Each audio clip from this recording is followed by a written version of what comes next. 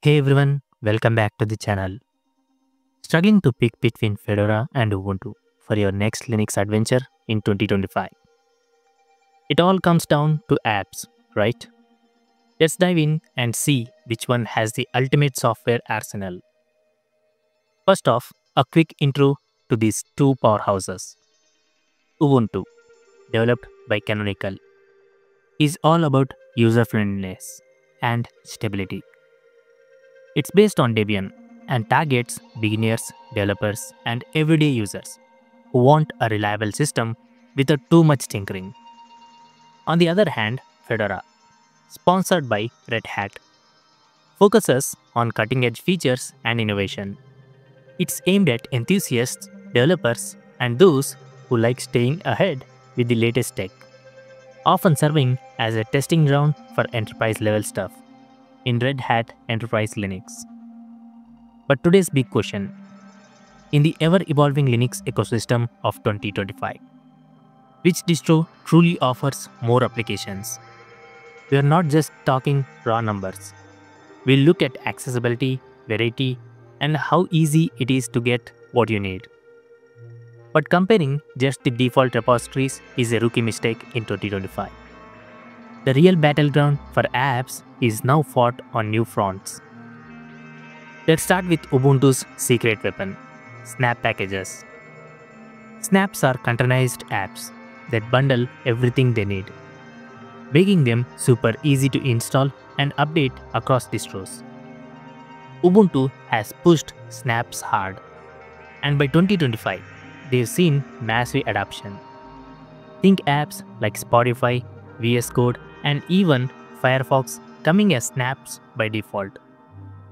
Major players like Google, Nvidia, and Microsoft are on board, distributing tools like Chrome and .NET via snaps. This gives Ubuntu a big edge for proprietary or niche software that might not be in traditional repos. Fedora, meanwhile, leans heavily into Flatpak, another universal format that distros agnostic and sandboxed for security. Flatpak is available on both, but Fedora integrates it seamlessly. It's enabled by default in GNOME software, and FlatHub is the go-to hub for thousands of apps. Ubuntu supports Flatpak too, but you might need to install it manually.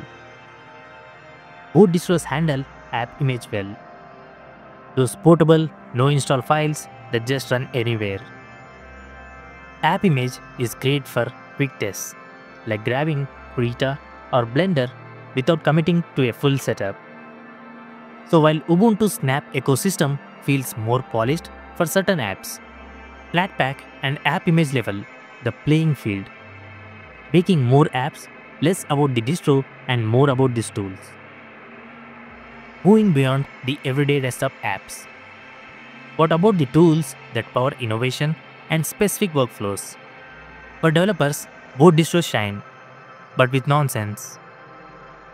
Ubuntu's apt package manager draws from massive Debian repos, plus personal package archives, which is PPAs, for easy access to the latest version of Python, Node.js, VS Code, or IntelliJ. It's stable, which is gold for long-term projects. Fedora uses DNF and RPM, with COPRs similar to PPAs, and newer kernels out of the gate, which is perfect if you need bleeding-edge developers environments. Availability is solid on both for languages like Go, Rust, or Java, often via native packages or universals. When it comes to niche software for creatives, engineers, or scientists, Ubuntu has Ubuntu Studio, a flavor packed with audio tools like Ardour, video editor like Kirali, and graphics apps like GIMP, all optimized for multimedia workflows. Fedora counters with its design suite for a graphic pros. Think like Inkscape, Blender, and Scientific Lab for researchers. Building tools like R, Octave, and astronomy software. Community contributions via PPAs or COPRs fill gaps. But Ubuntu's larger user base often means more options for specialized stuff. For many, the ultimate test of a Linux distro's app breadth comes down to entertainment and content creation. Gaming has exploded on Linux by 2025, thanks to Proton and Steam. Both Fedora and Ubuntu handle Steam flawlessly, with Proton making Windows games playable. Think like Cyberpunk or Elden Ring running smooth. Ubuntu might edge out slightly for driver support and launchers like Lutris or Heroic, especially on NVIDIA hardware. But Fedora's newer kernels can boost performance on AMD setups. Gaming focused spins like Nobara, which is Fedora based, or Ubuntu GamePack make setup a breeze.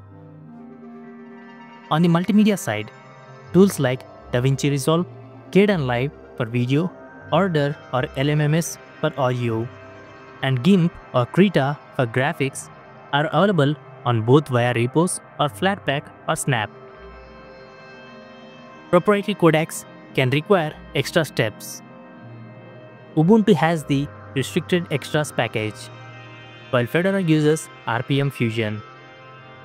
Installation complexity is low these days, with workarounds like Pipewire or better audio handling standard on both.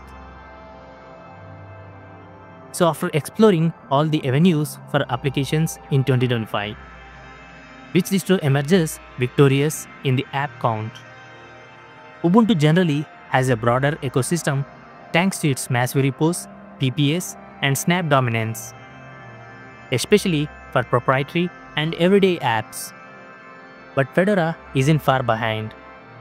With its focus on Flatpak, newer tech, and specialized spins, closing the gap. Now, the truth. More apps isn't always better. It depends on your needs. If you want stability and a huge collection for general use or multimedia, go with Ubuntu. For innovation, developer work, or science, Fedora might suit you more. Ultimately, the universal formats like Snap, Flatpak, and App Image. Both distro can access pretty much anything. Try them out, most are free and easy to dual boot. What about you? Are you Team Fedora or Ubuntu? Share your experiences in the comments below. And don't forget to like, subscribe, and hit the bell for more Linux comparisons. Thanks for watching. See you next time. Peace out.